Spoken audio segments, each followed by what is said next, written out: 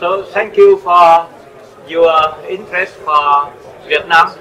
Uh, my name is uh, Lê Đăng Doanh. I am now an independent uh, economist, retired government uh, economist. Uh, Vietnam was uh, for a very long time well known as a bull. But since 30 years, Vietnam is better now than a country under reform and development. And uh, Vietnam has succeeded to move from centrally planning economy to market economy, uh, join the regional and international economy, fully integrated into the world economy. If you compare Vietnam to Korea, North Korea and uh, Cuba, it's, uh, it's a total difference between the, the, the, three, uh, the two countries, uh, which, uh, Vietnam. Vietnam is succeed to uh, move away to overcome the low income economic status and join the middle income economy. Now the GDP per capita of Vietnam is around 2,000 US dollars per capita, and uh, according to purchasing power parity, is around 3,500 US dollars. A lot of uh, food like uh, pho, noodle soup, or even barber shop are quite cheap. But uh, real estate in Hanoi and Ho Chi Minh City are very expensive. Uh, it's uh, uh, less affordable for the people. And Vietnam is succeed to reduce tremendously poverty. the UNDP from the United Nations has uh, presented Vietnam as uh, one of the success stories to reduce poverty from 63% prior to the reform to nowadays 18%, according to the World Bank criteria. And Vietnam has implemented the freedom to make business according to law, develop the private sector, reforming the state-owned enterprises, and attracting foreign direct investment. But uh, now the growth paradigm of Vietnam must be changed. Vietnam is succeeded to grow mainly based on exploiting natural resources. And the main competitiveness advantage of Vietnam is nowadays cheap labor. Uh, you may know that Samsung from South Korea have invested in Vietnam 6 billion US dollar. And the South Koreans in South Korea are complaining about their move of uh, Samsung to, into Vietnam. Why? Because the labor forces in Vietnam reach 80% the productivity of the South Korean workers, but their salary is only 10%. It's the reason why the, the South Koreans, the Chinese, and the Taiwanese are now investing in Vietnam.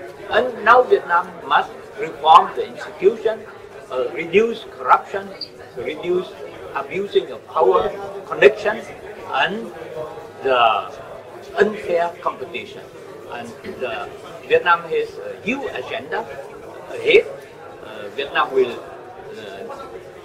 implement the ASEAN Economic Community, Vietnam will uh, negotiate and is strongly determined to join the TPP. It's not only purely economic interest, it's very much geopolitical interest because Vietnam is now too depending economically on China.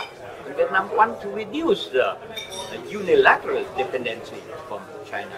Vietnam is also negotiating a free trade agreement with the EU and expected to sign an early 2015, also negotiate with the custom alliance, Russia, Belarusia, and Kazakhstan, also negotiating with the European Free Trade Agreement with uh, Switzerland, Liechtenstein, and Norway, and uh, something like that. So that in a very short period of time, Vietnam will have free trade agreement with 55 economies. And the integration is an external pressure for Vietnam to make reform. Because TPP and also free trade agreement with the EU want to implement the freedom of, to make business, also civil society, also the TPP want to request the freedom to organize in trade union and something like that. And Vietnam is really now on a turning point to move ahead or to lose the momentum. I really do hope Vietnam will catch the opportunity and to implement more reform. Thank you for your attention. I have a question about Vietnam's participation in TPP, Trans-Pacific Partnership negotiations. Uh, Vietnam's government, they don't have any problem in accepting intellectual property right protections, the level of you know, demanded by The uh, negotiation on TRIPS, on trade-related intellectual, uh, intellectual property rights is uh, very difficult because uh, it affects very much the pharmaceutical industry, also the uh, other industry of Vietnam. And now Vietnam wants to negotiate uh, on uh, first grace period, and secondly on uh, moderate criteria and requirements. equally, Vietnam is negotiating on the so-called local content of TPP of uh, garment and footwear.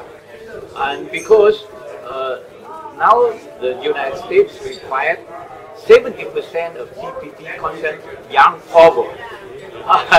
Vietnam wants also to have grace period and also uh, maybe not 70% but maybe 50 or 55% in five years, something like that. It's going on. Both sides keep secret, don't publish what they reach. But after each negotiation, both sides say they have made progress.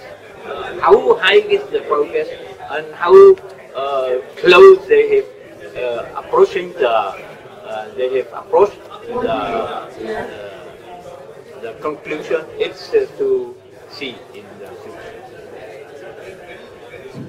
Any more questions? Uh, yeah, I have one more question.